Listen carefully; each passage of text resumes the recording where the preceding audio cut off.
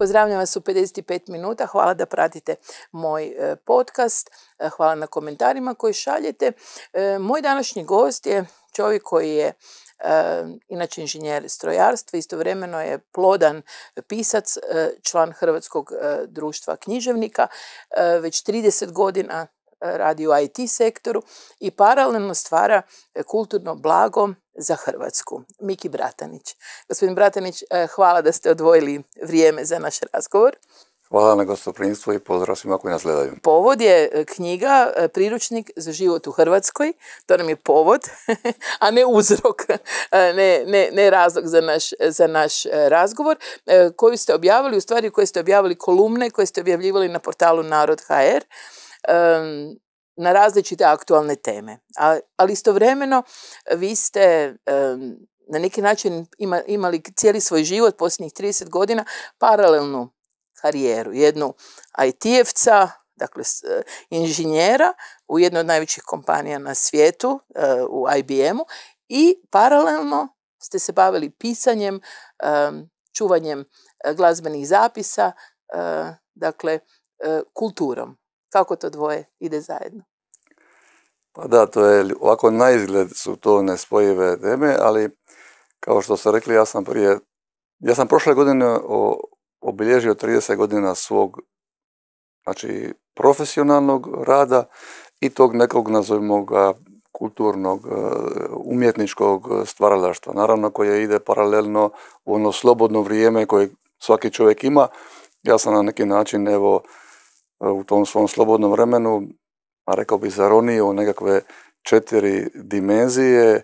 Jedna od njih je bila te povijesne teme, druga je bila moj projekt priče o konobi, treća su bile te snimanja tih e, crkvenih e, pučkih napjeva mog mjesta Vrbanj i evo zadnja dimenzija je bila recimo to pisanje, izražavanje u Čakavskoj, tom dijalektu, pisanje poezije i evo to je bilo nekako moje to umjetničko stvaralaštvo. A ono što su spomenuli, sve to počelo od 1993. kad sam se zapravo zaposlio u jednoj od najvećih svjetskih kompanija informatičkih, to je bila firma IBM i mislim da mi je to na neki način odredilo rekao bih čak i moj osobni neko život, jer ipak vas taj rad u jednoj takvoj firmi zapravo na, na jedan način odredi kao čovjeka, a s druge strane vam zaista pomogne i u onome što se bavite sa strane, u tom slobodnom vremenu, u tom hobiju, jer to iskustvo, to znanje, to poznavanje informacijskih tehnologija vam zaista pomaže da dođete do informacija, da baratate informacijama i da ih plasirate evo, gledateljima, čitateljima, publici. Ja nikako ovo vaše kulturno djelovanje ne bih nazvala hobijem, jer vi ste, to je doista, vi kao da imate dva paralelna života, dakle, ja razumijem da kažete hobijem zato jer od toga ne živite, ali živite od svog rada kao IT konzultant, ali s druge strane, vi ste objavili preko 20 knjiga i e, ne samo, meni nije samo to da ste objavili puno knjiga, već je stvar u tome da područje koje ste vi odabrali je područje kojim vi štitite, razvijate i širite nešto što je za opće dobro, što pripada svima u našem narodu. E, na primjer, ovi napjevi o kojima ste govorili. Pa evo ja ću samo na brzinu, možda samo malo za naše gledatelje objasniti te četiri dimenzije u kojima sam se ovaj nekako kojima sam se posvetio. Po meni one sve imaju zajednički nazivnik, a to je upravo ta nekakva briga o našem identitetu, briga o, naš, o nama, briga o, našim običajima, tradiciji, baštini, povijesti, dakle svemu onome što čini identitet e, jednog naroda. E, dakle, ta prva dimenzija čakavska poezija. Objavio sam četiri e, zbirke čakavske poezije. Dakle, to je moj materinji jezik. Mi moramo brinuti o našem standardnom hrvatskom jeziku koji je naše, tek smo neki dan dobili zakon o hrvatskom jeziku, ali naravno ti dijalekti su dio tog našeg identiteta. Jel? Ja sam evo ponosan da sam evo kroz tu formu, ja sam se izražavao i u Splitskoj urbanoj Čakavici i na standardnom hrvatskom jeziku, ali sam objavio četiri zbirke poezije baš na čakavskom jeziku, na dijalektu mog vrbanja na otoku Hvar. Jel? I dobro, i kako taj dijalekt zvuči? Da ga čuju naši gledatelji, da ga ne opisujemo. pa, Ja sam, ja moram reći da je pokojni Ljubo Stipišić Delmata s, kojima sam ja, s kojim sam ja surađivao, on je jedan put rekao... To je inače, pardon, otac od Džibonija. Tako je, i on je uređivao nekakve moje knjige, on je i uglazbio neke moje pjesme i tako. On je rekao da je Čakavica sama po sebi pjesma, da kad mi govorimo Čakavicu da mi pjevamo, eto to je otprilike tako. I zaista je to jedno naše blago, taj jedan naš identitet i ja sam kroz te knjige i pokušao e, na neki način skrenuti pažnju ljudima, pogotovo mlađim naraštajima, da je potrebno ipak to čuvati. Dakle, mi se razvijamo, jezik se razvija, mi sve, ali ipak treba to čuvati. Ja sam u tih knjigama radio nekakve riječnike manje poznatih riječi struka je i tu rekla, meni je uvijek drago kad struka kaže, e, znači, moj prvi recenzent prve zbirke je bio pokojni Anatolij Kudrijavcev, jedan veliki autoritet, tu su bili akademik pokojni Tonko Marojević, Zvonimir Mrkonjić, Ljubo Stipišić Delmate. To je dakle bila jedna dimenzija. Druga dimenzija je e, bilo to bilježenje, snimanje tih vrlo vrijednih pučkih crkvenih napjeva. To je naše neprocjenjivo nacionalno blago, ali i svjetsko blago. Procesija za križen je UNESCO baština. Dakle, mi smo snimili, ja sam snimio sa mojim pjevačima četiri nosača zvuka, 116 napjeva. E, kralju kojemu sve živi, e, nosač zvuka, bio je nominiran za diskografsku nagradu Porim u kategoriji najbolji album duhovne glazbe. To je ta druga kategorija. Treća kategorija je bila moj projekt Priče oko Nobi. Također sam četiri, sve, sve se vrti oko broja četiri. dobro, dobro. E, e, četiri knjige sam objavio na temu konobe. Svoju obiteljsku konobu sam doveo do, do, do stupnja e, zaštićeno kulturno dobro Republike Hrvatske. Osmislio sam jedan, jednu multimedijalnu prezentaciju kroz koju sam kroz prizmu konobe pričao jednu lijepu priču o Hrvatskoj, o nama, o našim kulturnim dobrima, o UNESCO kulturnim vrijednostima, dalmatinska kapska pisma, dalmatinska mediteranska prehrana, starogradsko polje, procesija za križen, to su sve UNESCO vrijednosti koje sam ja na neki način kroz tu prizmu priča konobi e, pričao i prezentirao svijetu kao jednu lijepu priču o Hrvatskoj. I tu sam na tom projektu okupio najviše ljudi. Evo mogu spomenuti pokojni akademik Tomislav Raukar napisao je prekrasnu recenziju u knjizi Konoba, akademik Nedan Kambi, e, akademik Jakša Fjamengo, pokojni Ljubo se piše dilemata. Bezbroj ljudi zaista se priključilo tom mom projektu i dalo na neki način jedan pečat i potvrdu da je to dobar smjer kojim bi mi svi zajedno trebali ići na to jednom putu naše tradicije, baštine, običaja, onoga što su nam ostavili naši stari. Ali, ovo što, pardon da vas samo prekidam, ovo što ste rekli, dakle za UNESCO, dakle to spada u nematerijalnu baštinu, dakle u stvari to je ono što e, se prenosi s naraštaja na naraštaj, E, i što je dio identiteta, ali i jedinstveno. Dakle, da tako nešto ne možemo naći nigdje drugdje u svijetu. Možemo naći slične stvari, ali križnih puteva ima gdje god ima e, katolika, ali s druge strane ne možemo naći ovakav križni put kakav mi imamo, e, kakav mi imamo na Hvaru. A što se tiče ovog vašeg, što ste rekli vezano za snimanje pjesama, dakle, vi ste u stvari snimali vaše hvarske napjeve, jel tako? mi smo snimili isključivo napjeve moga mjesta, malog mjesta, Vrbanj, pazite, 116 napjeva i dobro ste to primijetili, to što je zanimljivo, znači mi smo po tome jedinstveni i u tome je ta vrijednost. Dakle, ove moderne pjesme može pjevati svak i može pjevati svak deset puta bolje nego mi u Vrbanju. Ali ovo što mi pjevamo u Vrbanju, to jest što su pjevali naši stari, ne pjeva nitko na svijetu. I po tome smo mi prepoznatljivi. To je taj brand što se kaže, to je ta prepoznatljivost. Jel? I za jednu zemlju koja je turistička, kao Hrvatska u stvari, umjesto kopiranja e, na nekih e, proizvoda turističkih koje vidimo u drugim državama, mi možemo turistima ponuditi ove originalne stvarne vrijednosti koje oni ovdje mogu upoznati. A većina turista danas e, u tim anketama i analizama kad se objavljuju traži u stvari autentični doživljaj. Pa što autentičniji od ovoga? Evo, e, dovršit ću misao pa ćemo onda zaokružiti sve te četiri teme i vidjet ćemo kako je zapravo to sve skupa povezano. Vi ste pravi strojar, vi to sve sistematično, a ja bi malo jedno, malo e, drugo. Evo, ali, ali, ali evo, treba prenijeti tu poruku kako je zapravo e, ništa nije nepovezano. Kao što IT ima zapravo veze, mi mislimo da nema, ali ima, tako i ove teme imaju i tekako veze. Dakle, napravio sam tri te dimenzije u kojima sam se ja ovaj, izražavao i gdje sam se fokusirao kroz taj 30-godišnji rad. I evo, posljednja je bila tema u kojoj sam se najviše zadržao, to je upravo ova tema ove knjige koju, sam, koju predstavljam, uh, priručnik za život u Hrvatskoj. Dakle, to je bilo istraživanje naše povijesti s naglaskom na istraživanje zločina Jugoslavije ili zločina učinjenih, počinjenih u ime i u interesu Jugoslavije. Tu sam objavio četiri knjige, opet četiri knjige. Jedna je, jedna je bila e, Ruzari za Hrvatski križni put.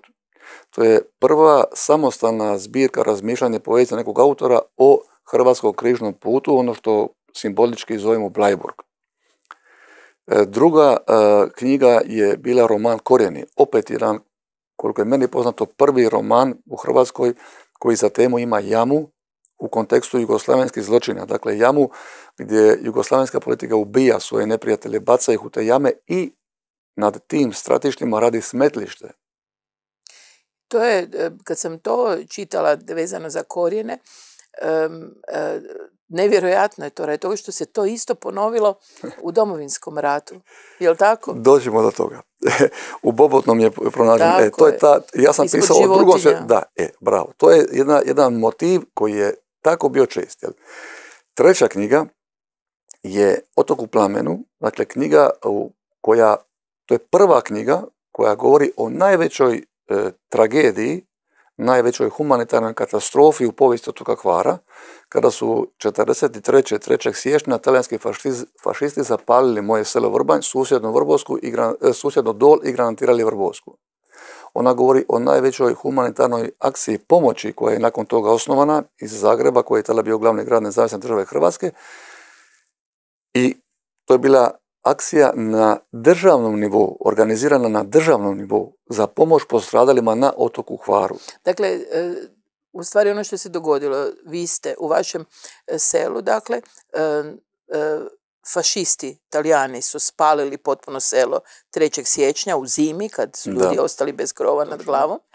A onda je ustaška vlast organizirala pomoć tim ljudima koji su italijani smatrali neprijateljima. I komunisti su ih smatrali neprijateljima. a to, to, je nevjerojatna ta priča to, koju ste ključ, ulovili. To je, to je ključ poante. Dakle, ja, ja, sam, e, samo da kažem još, još jednu komponentu te knjige. Znači, prva je paljenje vrbanja, znači fašistički zločin. Druga je ta humanitarna pomoć, najveća u povijesti od toga Hvara.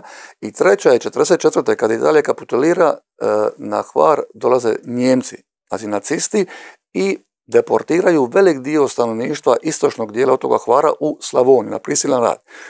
I ti ljudi, jadni koji su bez ičega došli u Slavoniju, oni se obraćaju tom odboru za pomoć postradalima od fašističkog zločina neposredno prije koji se dogodio i mi, zahvaljujući jednom čovjeku koji je sačuvao kompletnu dokumentaciju rada tog odbora, kompletnu korespondenciju, sve račune, mi imamo uplatnicu grada Vukovara koji pomaže mom vrbanju. Znate, to je vrlo vredno. Znači, polovica moje knjige Otok u plamenu su zapravo dokumenti. Ja sam samo kronološki napravio jednu poveznicu iz e, svjedočanstava ljudi iz poznatih izvora i ukalupio to u jednu priču, ali pola knjige su nikad viđeni i nikad objavljeni dokumenti. Ta knjiga dakle govori o tri, recimo to tako, globalna svjetska zla. O fašizmu, o nacizmu i o komunizmu. O komunizmu i o njihovoj ulozi, ulozi u obstruiranju rada tog, te humanitarne pomoći i oni su zapravo sve te ljude koji su bili humanitarci proglasili narodnim neprijateljima. Ja sam te ljude na neki način u toj knjizi rehabilitirao. Eto. I to je bila zaista jedna velika povijesna nepravda i mislim da ta knjiga e, u znanstvenim krugovima, znači ja sam amater laik, ja nisam profesionalac, ja nisam povjesničar, ali sam tom knjigom znanstvenom krugu donio nikad viđene, nikad objavljene dokumente. Eto. Vi ste u stvari kroz tu knjigu pokazali ono što je gospođa Gitman e, kao židovka, kao strankinja koja je došla u Hrvatsku raditi svoj doktorat na, e, zahvaljujući Fulbrightovoj stipendiji, pokazala vezano za Stepinca. U stvari je krenula od onog što se događalo, a onda je tražila za to uzroke. Vi ste sad u stvari nama, e, ovaj presjek koji ste dali vezano za knjigu Otok plamenu, vi ste u stvari ovdje pokazali da je cijeli narativ koji se 45 godina učio u školama, objavljivao, tumačio i dan danas postoje stranke i ljudi koji ga nastavljaju u Hrvatskoj, ta je crno-bijela slika dobrih, dobri su antifašisti i partizani bili, zločisti su bili ovi, da ta crno-bijela slika koju nam stalno pokazuje ima jako puno slojeva koje, o kojima mi ne znamo najosnovnije činjenice. Jel? E, knjiga Otoku plamenu dokumentirano pokazuje da, je, da su svećenici s otoka Hvara nakon što se ta tragedija 1943. dogodila svoje izvještaje o toj tragediji Znači, to su izvještaje u realnom vremenu, mi bi rekli u informatici, poslali biskupu Pušiću. Biskup Pušić je to, to posla... biskup, tako je, hvarski biskup Pušić. On šalje pismo e, nadbiskupu Stepincu, Alojziju Stepincu Zagreb. Ovaj šalje pismo Anti Paveliću, a ovaj onda to spušta na ministarstva i na državnom nivou se radi pomoć na tog Hvaru, a paralelno se osniva taj odbor s tim ljudima koji su bili poreklom s otoga Hvara, koji onda kao nekakvi aktivisti zapravo pomažu u, u, u korespondenciji između tih državnih firmi i skupljaju zaista enormnu količinu pomoći Da pomognu onima koje su Pavelićevi saveznici u stvari, zapalili im selo, to želim naglasiti, jer to je taj jedan, e, jedna, jedna slika koja je potpuno drugačija od onoga što se, o čemu se inače u e, mainstreamu, u narativu e, glavnostrojačkih medija govori, ali i u povijesti. Mi danas imamo povjesničare koji uporno niječu te sve slojeve koji su se događali. A ovo je nešto što je izuzetno zanimljivo. I nije bilo samo na Hvaru, ovo se događalo i na drugim otocima. Ma da, e, povjesničari su te teme obradili ovaj, što se tiče e, i, ti, i tih komunističkih aktivnosti e, u, svojim knjigama, međutim, nažalost, mnoge su knjige objavljene, ali za te knjige hrvatska javnost ne zna. Ja bih samo završio još tu mhm. dimenziju sa to, ovom zadnjom knjigom, jer se ona nadovezuje na ovo što ste vi rekli. Dakle, ova knjiga Priručnik za život u Hrvatskoj, s njom sam zaokružio te svoje, nazovimo ih, povijesne teme. Jer kao što sam zakružio četiri nosača zvuka snimanja pučkih napjeva, kao što sam četiri knjige konoba, kao što sam četiri zbirke, sad sam, Bogu hvala, zaokružio to, sam mogu odahnuti, vjerujte mi. Sad ćete nešto novo. A, vjerujte mi, vjerujte mi. E, e, vjerujte mi, to je vrlo, vrlo teško. E, stvarno, evo, moram posvjedočiti, to je vrlo, vrlo težak i nezahvalan posao. Vrlo, strahovito. Ta knjiga, knjige. Ne, ne knjige, nego boravak u tom e, svijetu istraživanja te naše povijesti u kontekstu zločine Jugoslavije, istraživanje to, saznavanje toga što se dogodilo, a još više pokušaj da to kažete ljudima. Tako je. E, to su paralelni svijetovi. To, su paralelni svijetovi. Uglavnom, ta knjiga e, je zbirka otprilike 50 članaka koji su objavljivani na portalu Narodu, kojim sam ja pokušao jednim jednostavnim jezikom običnog malog čovjeka, ali informatičara, strojara, inženjera, jel? Sistematično. Sistematično objasniti ljudima nekakve naizgled kompleksne teme, e, nekakve teme koje su nam bile nametnute kao povijesne istine i kojih mi, ovo što ste vi malo prije rekli, danas slušamo. To vam je ta suradnja Ustaša i Italijana, Tako je. znate, ono, to su suradnici. Ili suradnja Ustaša i Četnika, na primjer. To je zanimljivo. Znači, oni su bili suradnici. Prodaja Dalmacije. Jedan detalj ću sada reći, evo, i to je vrlo bitno za naše gledatelje. 27. siječnja, dakle nedavno, da. je bila stota obljetnica rimskih ugovora, potpisivanja rimskih ugovora između jugoslavenske politike tadašnje kraljevine SKS i kraljevine Italije. 27. siječnja, 24. 1924. Znači, u Ustašama još nema ni, ni govora. Jel? Ni u. E, tako, ni u. E. Ako smijemo reći u. Ako smije. Prije toga su bili potpisani rapalski ugovori, 20. Ali ovo je 24. 100. obljetnica, pazite. U medijima u Hrvatskoj tu stotu obljetnicu, koja je dokumentirana fotografijom, fotografijom jugoslavenskih političara i Benita Mussolinija, dakle najvećeg fašista na svijetu, Nijedan medij u Hrvatskoj o tome nije objavio, osim portala Narod koji je objavio moj članak koji sam ja napisao i poslao tamo. Stota obljetnica.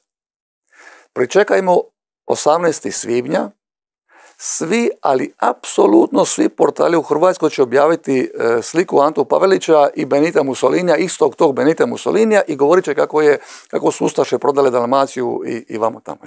To je dio bio jugoslavenskog komunist, narativa komunističke partije. I to je nešto što se učilo neprekidno o tome i u stvari je nevjerojatno da sada u demokraciji se ta ista priča uporno nastavlja. Evo, ja, ja to gledam sa svog uh, kuta čovjeka koji čitav život radi u sektoru informacijskih tehnologija.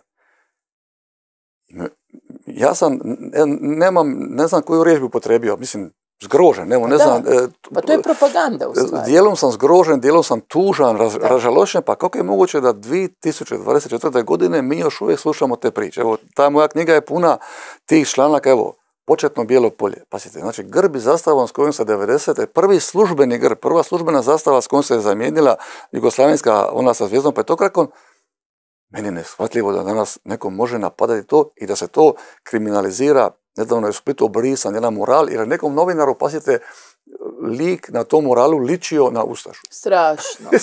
Ne novinaru, političaru. To je političar E, SDP-a, koliko sam uspjela shvatiti. I, meni su to kao, i meni su to evo, kao nekom zaista čovjeku iz tih poslovnog svijeta, iz svijeta informacije i tehnologija, a meni to nevjerovatno. Ali e, druga stvar je da nije samo da se radi o tome da se na- nastavlja iskrivljavanje i falsificiranje e, činjenica povijesnih u Hrvatskoj danas, već isto tako činjenica da se e, ne razotkriva i ne objavljuju se temeljne istine o komunističkim zločinima. Da mi, mi stalno imamo u stvari situaciju e, u jednom velikom dijelu medija kao da živimo još u totalitarnom režimu koji je lagao o svojim zločinima, skrivao svoje zločine, a uvećavao zločine e, onih protiv kojih su oni bili. Da. To vam je primjer mog vrbanja. Znate, znači 3. siječnja stanovnici Vrbanja ne obilježavaju uveče. Znači, dan najveće tragedije u povijesti Vrbanja, Vrbanjani ne obilježavaju. A zašto? To vam je isto kao da se 18.11. u Vukovaru ne dogodi ništa. Kad se, kad se ovog sad 18.11. koji dolazi jel, Da. krajem godine, u Vukovaru ne bi dogodilo ništa. Što bi to značilo? Da smo zaboravili. Sam, ne, to bi, samo dvije stvari su moguće. Ili je smak svijeta, apokalipsa, nema više svijeta, jel? Ili više nema Hrvatske. Tako je. Ne znam što bi treće moglo biti. Jel? E, obzirom da apokalipse nema, tu smo, živi smo, stanovnici Vrbanja su živi, dakle jedini zaključak koji možemo donijeti da, da Hrvatska još nije došla u Vrbanj potpuno. Stanovnici Vrbanja nisu još, moji mještani, nisu još potpuno slobodni da mogu naglas Reći što je e, reći bilo. što je bilo. Jer u stvari, Istinu, pazite, istinu, ništa lagati, e. Apsolutno, samo i, ali ono što je bilo je u stvari da su oni bili na kraju izloženi progonu komunista isto tako, jel tako? Jer su primali tu pomoć ili ne? Zašto se oni, kog se oni boje ljudi? Pa ljudi se boje, dakle, kom, e, tom jugoslavenskoj policiji, ja ne volim govoriti o komunistima, nego o jugoslavenskoj policiji, jer su i četnici i komunisti, oni, su- znate, oni su imali Tako isti cilj, znači imali su cilj Jugoslaviju, naravno svaki svoje perspektive i 44. kad su četnici vidjeli da više, ovaj, da su izgubili tu, tu bitku za vlast u nekoj Jugoslaviji, oni su se pridružili komunistima, jel tako, tu priču da, znam, da. jel? I, I tu pišem u toj knjizi ovaj, zapravo o tome. Tako da ja uvijek volim govoriti o jugoslavenskoj ili velikosrpskoj jugoslavenskoj politici. jel. I ta velikosrpska jugoslavenska politika je, nažalost, ona je kompletnu tu priču o paljenju vrbanja, o toj humanitarnoj pomoći stavila sa strane. O tome nisu htjeli da se govori, jer gdje god biste zagrebali, našli biste na neke njihove prste u nečemu. Jel? Na što mislite? Pa evo na samu Da. tu obstrukciju, te, znači oni, oni nisu uopće htjeli da ta pomoć, da, da ovi skupljaju pomoć. Znači oni nisu htjeli da se nešto pozitivno dogodi iz, iz, iz Zagreba, iz nezavisne države Hrvatske. Oni su to odbijali, oni su te ljude proglasili narodni neprijatelje. Dakle, A oni na su kraju u su- stvari eh, spriječavali u to vrijeme, dakle komunisti, partizani, veliko Srbi, kako god da ih zovemo, oni su spriječavali da u, u stvarnom vremenu, u, tog, u tom razdoblju nakon 3.1.43. spriječavali su da one ljude u Vrbanju koji su ostali bez svega, da primaju pomoć od tog odbora za pružanje pomoći, Tako zato što je to bio po njihovom ustaški odbor Tako je, i, tako je. i tu bi se sad mijenjala slika tih ljudi o ustašama u stvari. Dakle, to mislim da ne bi gledatelji eh, krivo shvatili. eh, Nije to neko moje mišljenje. Dakle, to vam To su piše, činjenice, pa to da, vam jasno, piše u jugoslavenskim knjigama. Mislim, Ja to, sam e, pročitala, vi ste, vi navodite, vi navodite, e, dakle, dokumente gdje ljudi traže odjevne predmete, na primjer, jel tako, Da, ako sam da. dobro zapamtila? Obuću, ima Obuću, broj broj, cipela, cipele, e, tako je, je, je. tako. Je. I na kraju je veliki dio te pomoći koji je skupljen zapravo prosljeđen u tom partizanskom komunističkom pokretu. Jel? Dakle, znači stanovnici, oni, oni kojima je to bilo namijenjeno, ni- nisu, ni dobili. veliki dio te pomoći. Jel? Ali hoćemo reći, da ne ulazimo sad duboko u analizu tih događanja, činjenica je da je taj strah i, i ta zbunjenost ljudi i to neznanje, nepoznavanje svoje vlastite povijesti rezultat svega ovoga. Zaista je tužno da mi danas na nijedan način ne možemo se sjetiti toga, tih nekakvih tragičnih događaja iz naše povijesti i da mi naučimo našu djecu što je istina, što je bilo, što se dogodilo. Pazite. I u konačnici, oprostite samo još da kažem, e, zašto, vi, zašto je vama važna činjenica da se e, Mussolini zajedno sa predstavnicima e, Beograda ne prikazuje i o njemu se ne govori u Hrvatskoj? Zašto je to vama važno da naši gledatelji razumiju? Pa dakle, ja bih rekao, evo moje neko iskustvo u tom velik, u istraživanju amaterskom te, te povijesti. Znači, s jedne strane imate jednu vrlo uh, jednostavnu politiku te Jugoslavije. To vam je kao u informatici, u nekim tehnologijama informatičkim. S jedne strane, to je vam je stvaranje filtera. Dakle, s jedne strane, uh, zabranite promet informacija u kojemu stoji Jugoslavija uz nešto zlo. To nema. Znači, branite. Bilo što negativno u Jugoslaviji ne puštate. Znači, mi, ja za Blajburg nikad nisam čuo do svoje, ne znam, punoljetnosti. Jel? Mnogi ga nisu čuli nikad do, do smrti. Jel? S druge strane, maksimalno koliko god možeš, govori negativno o Hrvatskoj. Stavljaj gdje god možeš, sve šta god je Hrvatsku negativno. Sve slike gdje god se pojavi neki Hrvat sa Hitlerom, Mussolini, pumpaj, stavi. I onda obrnuti filter onaj, ništa lijepo o Hrvatskoj ne govori, a isključivo o Jugoslaviji govori lijepo. I mi vidimo danas u medijima rezultat toga. Dakle, mi to danas, mi to taj filter egzistira danas, danas pazite, ne, ja ne govorim o nečemu što je bilo prije 50 godina. Ja vam govorim da taj filter postoji danas. Apsolutno. Od istih tih nekakvih struje. I zaista treba učiniti e, jedan napor da se ti filtri demontiraju konačno i da se te povijesne istine prezentiraju. Zato ja smatram da je taj način na koji sam ja kao običan mali čovjek napravio tu knjigu, dakle ja sam jednostavnim jezikom te naizgled kompleksne teme prezentirao široj hrvatskoj javnosti.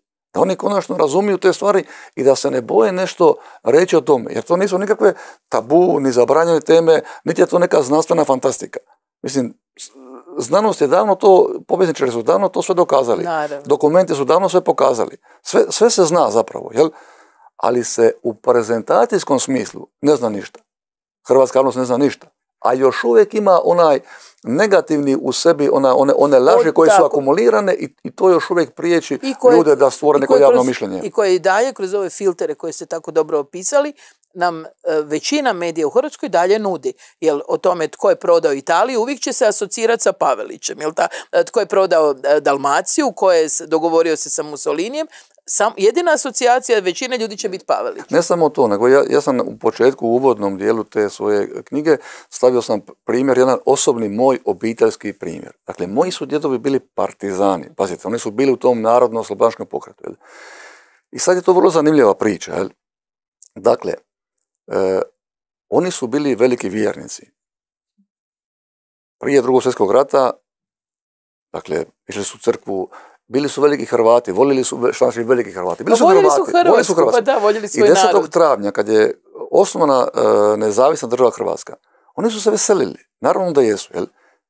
Zašto? Zato jer su izišli iz ropstva velikosrpskog točno, e, terora. Točno, Zato... točno. I oni su se tome veselili. I sada u jednom trenutku, nažalost, sa, upravo sa konstelacijom tih snaga, dakle 10. travnja kad je osnovana NDH, Dalmacija i veliki dio zaleđa Hrvatskog je već bio pod Italijom, pod vojnicima i mi se nismo, mislim mi, Hrvatska se tada nije imala čime ni boriti protiv toga ni načina. Kao što se budimo realni, ni Jugoslavija nije 20. ni 24. mogla boriti. Znači treba biti objektivan. Treba reći, treba uzeti isti kriterij i za jedno i za drugo vrijeme. Jel? Tako, i za e, e, prvu Jugoslaviju i za, Točno, i za NDH. isti kriterij. I sad pazite zanimljivo, moji djedovi su tu vrlo zanimljivi. I sada netko koristi tu situaciju da 1941. godine je Dalmacija pod Italijom i oni mobiliziraju, motiviraju moje djedove, usput rečeno Vrban je i zapaljen u cilju te mobilizacije, da. to o tome nismo ni govorili, i moji djedove odlaze u rat za Dalmaciju, za oslobađanje Dalmacije. Čujte, kad se moji djedovi vrate iz rata slavodobitno iz tog oslobodilačkih tih svojih pohoda, ne postoji više ni Hrvatska, niti više postoji Dalmacija u smislu Hrvatske. Dalmacija, oni kažu vratili smo Dalmaciju matici zemlji. Jeste, a kako se zvala ta matica zemlja? Zvala se Jugoslavija. Nije nikad Jugoslavija bila matica zemlja Dalmaciji, niti je Beograd nekad bio matična luka Dalmaciji. Prema tome, moji djedovi su se vratili iz rata, srušili su Hrvatsku koju su voljeli i Dalmaciju su opet dali nekome drugome, ne Italiji, nego Jugoslaviji. I moji djedovi sigurno nisu bili zadovoljni s time. I sada da pointiram sa završnom misli od mojim djedovima koje se nalaze tu u mojoj knjizi, i onda dolazi subtilna politika Jugoslavije koja opet one tradicionalne vrijednosti i hrvatstvo i katoličanstvo i to sve skupa nastoji zatomiti i 50. godina pokušavaju i tu procesiju za križan koji su jedino nacisti zabranili 44. čak ni italijani, samo nacisti, ali se održali u El Šatu, to je zanimljiva priča isto. I moj djed, koji je bio u partizanima, on tih kriznih godina uzima sveti križ i nosi križ u toj procesiji za križanje. I sada ja nikako ne mogu dozvoliti da moj djed bude u istom košu tamo s tim ljudima koji su nosili zvijezdu petokraku. Ne I ubijali i bacali znači, ljude u jame. Dakle, moje mjesto su zapalili fašisti. Moj djed je bio antifašist. Ne treba mi niko pričati o fašizmu ni o antifašizmu. Razumijete? Mislim, ja znam dobro što je fašizam i što je antifašizam. Naravno. Ali nemojte me zavlačiti s tim vašim komunističkim jugoslavenskim pričama. I to je to. Evo. Tako. Ali e, da se nadovežem, ovo što ste sad opisali je nešto što sam, e, kad sam bila u Istriju e, i posjetila dakle, mjesto ubojstva Blaženog Bulešića, i u stvari kad smo tamo razgledavali sve te dokumente to se upravo dogodilo. Vi ste imali tamo Hrvate koji su bili vjernici, koji su bili osvješteni Hrvati, voljeli Hrvatsku, koji su se borili protiv fašista. Neki od njih su završili u koncentracijskim logora u Njemačkoj, koji su vraćeni, vratili su se doma, preživjeli sve te užase rata, kao i vaši djedovi, da bi oni, kad je trebala se raditi krizma, stali uz svog župnika i rekli da oni žele krizmat svoju djecu, jel? da bi na kraju te ljude ubili svećenika, e, dakle partizani, u stvari komunisti, i da bi te iste ljude koji su kao vaši djedovi bili zatvorili u zatvor jer su branili crkvu od divljaka koji su došli i htjeli kamenovati svećenika i zabraniti krizmu. Dakle, to je, to je, to je toliko, mene tako to Zbiljam ti je prestrašno kako je taj naš narod e, trpio u Istri kako su Hrvati trpili, a ovo sa ovim, kako ste vi rekli da je u funkciji vrbanje zapaljeno, slična stvar se dogodila na jednom malom otoku ispred Zadra, koji ja dobro poznajem, Ižu. Tamo je isto organiziran ustanak i danas možete čitati te priče partizanski, koji ima za posljedicu, ubili su svećenika, ubili su učitelja talijanskog, njegovu majku, dakle izazvali su jedan nasilje su napravili, došla je reakcija Talijana, jedan dio raseljeni su, došle do odmazde i u stvari to onda dovelo do toga da jedan dio tih ljudi u tom otporu se pridružio u stvari partizanima. Tako da, na primjer, to je kad sam čitala ovu vašu knjigu, doista je strašno e, kad čovjek gleda koliko je sustava bilo u tom izazivanju bijesa fašista talijanskih na narod. Jel? Da, i zanimljiva je, evo u toj mojoj knjizi Otok u plamenu, jedan zanimljiv e, moment, dakle u Vrbanju se je E, podigao jedan spomenik nakon drugog svjetskog rata kao u, u komemoraciju o tom paljenju, vrbanju strane fašista. On nije podignut na desetu obljetnicu paljenja, znači nije podignut 3. siječnja 53. Nego je, pasite, podignut 27.7.51. na obljetnicu, na desetu obljetnicu ustanka naroda Hrvatske. A šta se dogodilo 27.7.41. Tamo je u Srbu dakle, podignut takozvani ustanak, koji je bio u biti ustanak protiv Hrvatske u kojem su komunisti i četnici, pazite, potpomognuti logistički talijanskim fašistima napravili etničko čišćenje Hrvata na tom području. Ubili su svećenika gospodnetića, Nestora. Mislim, i sad zamislite vi, koje je to kako, jedna povijesna perverzija, ja bih se usudio reći, ako mi dozvolite, da vi komemorirate zločin, jedan fašistički zločin u mom mjestu Vrbanj, na dan jednog drugog, drugog zločina. fašističkog zločina nad istim tim narodom i da ja dam, evo ja vas uvjeravam, danas, dan danas, Vrbanjani da ih pitate, oni ne znaju što se dogodilo 27.7. Da. Ne znaju. I to je zaista tragično. Je, to je tragično i meni je, s druge strane, jako sam zahvalna e, da, da imamo priliku sad razgovarati i da, moji, da gledatelji mogu čuti o vašem radu, zato što ste vi u stvari niste nad tim svim uh, zdvojili i govorili joj strašno, strašno, već ste doista e, preuzeli na sebe odgovornost da stvari koje vi možete, vi rasvjetljavate. A ja bih se vratila ponovno na ovo vaše istraživanje vezano za jame. Dakle, rekli ste da ćete reći nešto više o toj sličnosti između jama nakon drugog svjetskog rata i jama vezanih za područje grada Vukovara. Dakle, u, tom, u toj knjizi postoji jedan članak e, o Husinoj jami. E, ta Husina jama je gore od, od, od Sinja tamo u, prema, prema Livnu, jel? I to, on je, to, to treba pročitati zapravo. Mislim, ti slojevi tog zločina u, u informativnom obliku su ma, nadrealni. To je, to je nevjerovatno, mislim, pasite. Ali je bit u tome da je čak i ta husina jama, jel? znači vi ste ubili ljude, ubacili ljude unutra i onda ste na to natrpali, organizirali ste da to postane javno odlagalište smeća kako biste tu... E, primjera ima i više, rađene su zgrade, tvornice, svašta. Jel?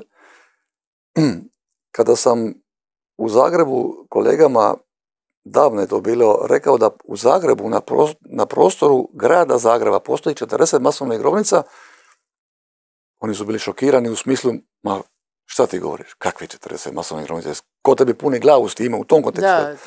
Neposredno pred tiskanje te knjige, nazvao sam profesora Jurčevića i pitao sam koliko danas je službena brojka masovnih grobnica u Zagrebu. 130. Pazite, 130. To vam znači u ovih 30 godina da se četiri godišnje, recimo, su se našle masovne grobnice u gradu, gradu Zagrebu, Na kojima su građene dakle, kvartalno, pedagoška akademija, ne znam jedna, još. Da. Kvartalno jedna. Ili se vi sjećate da je ikada masovna grobnica u glavnom gradu Hrvatske bila tema u medijima u Hrvatskoj? Nije. Se sjećate? Ne. Ja se ne sjećam.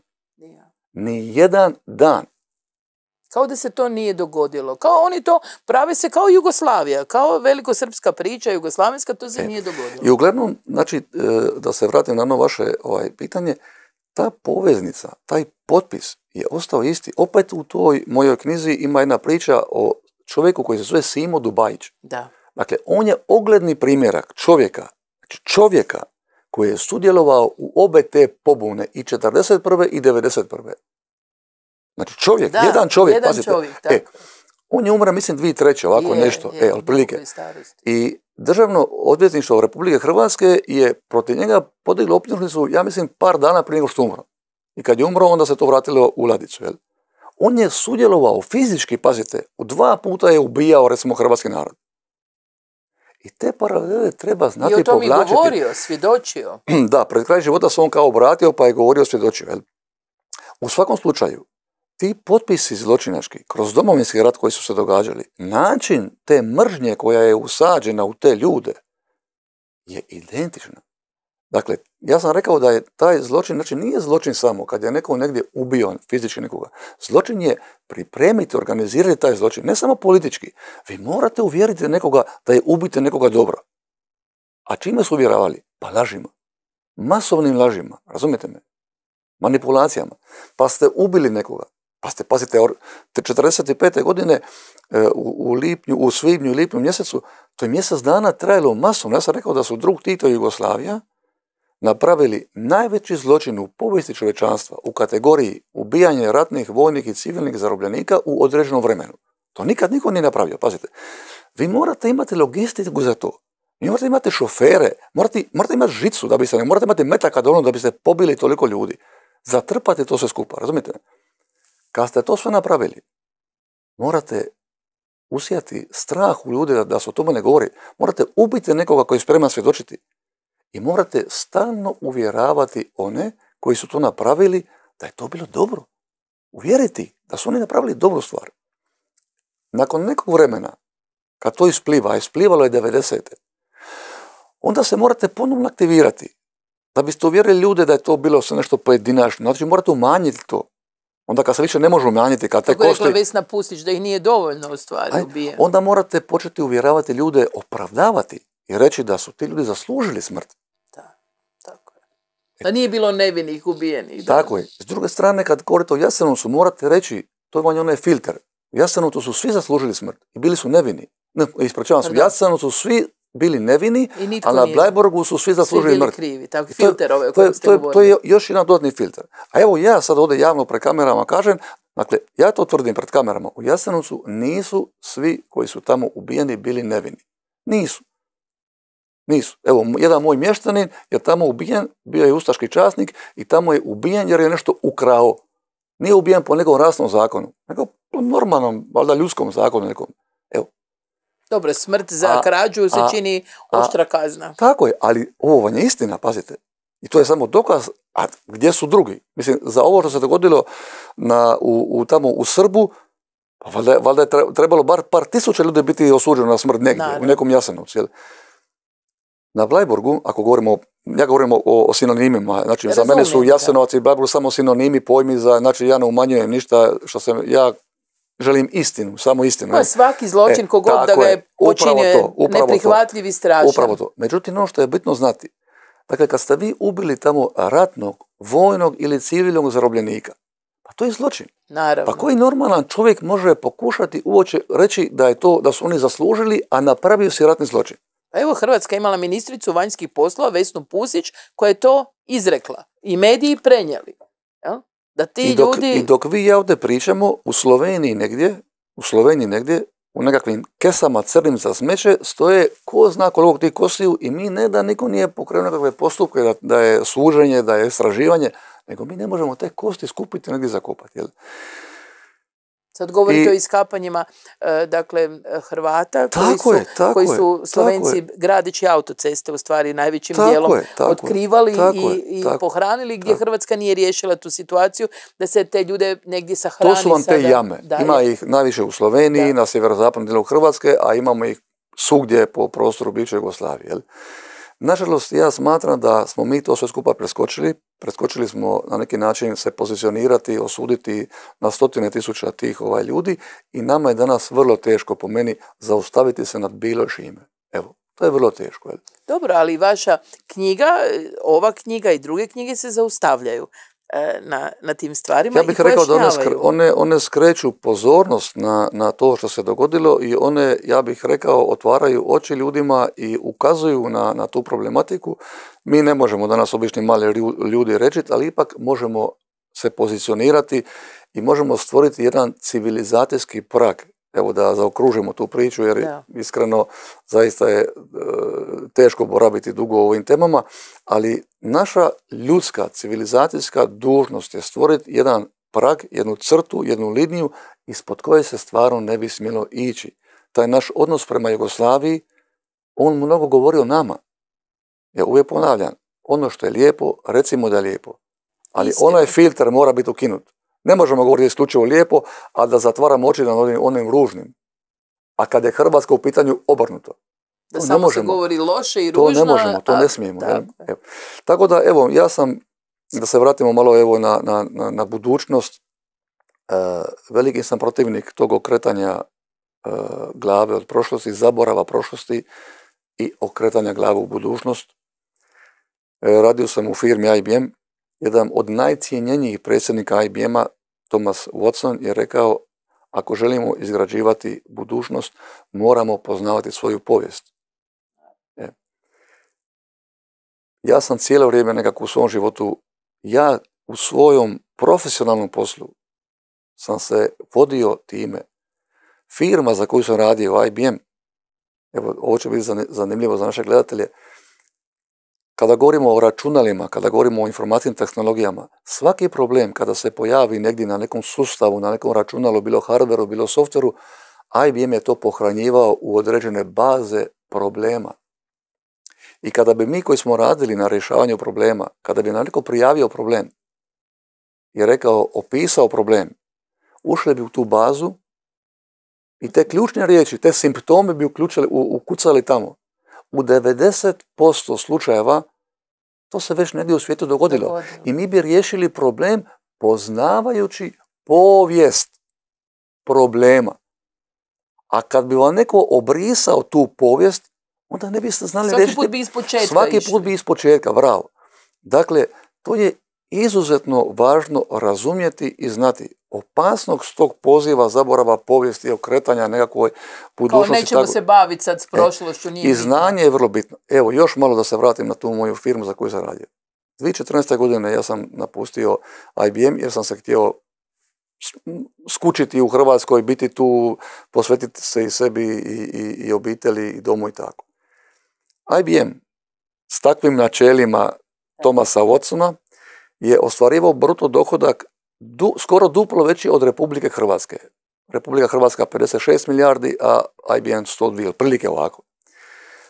U istraživanje i razvoj u koji spada i edukacija, ulagao je oko 6 milijardi dolara, ovo govorim, govorim na godišnjem nivou, Republika Hrvatska je toliko otprilike tih godina imala od turizma, zarađivala. U mene je u 21 godinu IBM uložio pola milijuna američkih dolara. Jel? Znanje je vrlo bitno. Naravno. Mi smo samo na papiru želimo biti zemlja znanja, ali evo vidimo kako ne znamo ništa. Mi o vlastitoj povijesti ne znamo ništa, mi o, svojim, o svojoj baštini ne znamo ništa, ne cijenimo svoju baštinu. Dakle, kroz ruke nam promiče ta naša prepoznatljivost i vrijednost po kojoj smo prepoznatljivi u svijetu. Da, Utapamo se u toj nekoj unificiranosti globalnoj, a imamo nešto po čemu smo posebni, po čemu smo vrijedni, po čemu smo dobri, po čemu smo cijenjeni ostalo i prepoznatljivi. Počevši od tih napjeva o kojima smo govorili, počevši o tom, o, o nekakvom jeziku, Priča Konobi, fantastična platforma, pazite, za, za, za prezentaciju Hrvatske, za, za turizam, za, za, za bilo što. Kao mjesto druženja, mjesto za pjesme. Bilo, ali kao jedna priča, kao priča, pazite, ne samo kao nekakav ambijent, ne samo kao lokalitet, kao priča, priča, pazite, kao platforma za priču, jel? Evo, povijest. Ja sam iz Vrbanja na tog hvaru. Ma ja mislim da u Hrvatskoj ne zna nitko da je 20 metara od moje rodne kuće rodna kuća Matija Ivanića, čovjeka koji je 1511. godine na otoku Hvaru pokrenuo revoluciju u kojoj je po prvi put u povijesti čovečanstva, imamo dokument o tome, u vlast neke, neke komune, nečega, jel, mogao ući svaki čovjek. Svaki čovjek. Znači, demokracija je poznata još od doba Grka, ali morali ste biti plemić da biste ušli u vlast. Na otoku Hvaru 1511. godine mi imamo dokument koji svjedoči da je u vlast mogao ući svaki čovjek. Pučanin, dakle. Pučanin, pazite. Nas, nažalost, Hrvata, na karti evolucije e, demokracije nema, ne postoji. Zašto? Zato jer mi sami to ne znamo. Mi sami to ne znamo. A li da ćemo znati isprezentirati se, ispričati priču i nametnuti se kao prvi u svijetu. Pazite. Da svaki turist koji dođe u Hvar dozna to. Must to see. Moraš vidjeti i razumjeti. E, tako je. Eto, da. eto, to je to. Dobro. E, puno vam hvala za ovaj razgovor. Mislim da smo u kratkom vremenu e, s našim gledateljima podijelili puno vašeg znanja i evo i hvala vam za, za ovo sve što e, svoje znanje i vrijeme i sve ulažete. Evo toliko sad već godina u povećavanje tog kulture i tog fonda znanja. U Hrvatskoj ja se nadam da vi ste imali predstavljanje knjige u Matici Hrvatskoj ovaj tjedan, e, nastavit ćete promovirati ju po Hrvatskoj, ja se nadam, pa će naši gledatelji imati priliku doznati još toga. E, hvala vama na gostoprinjstvu i na prilici da se evo da rečem malo sebi o svojim tim radovima. Mislim da je to ipak sve za opće dobro. Je, to je sve za opće dobro. dragi gledatelji, puno vam hvala na pozornosti i pozdravljam vas do sljedeće prilike.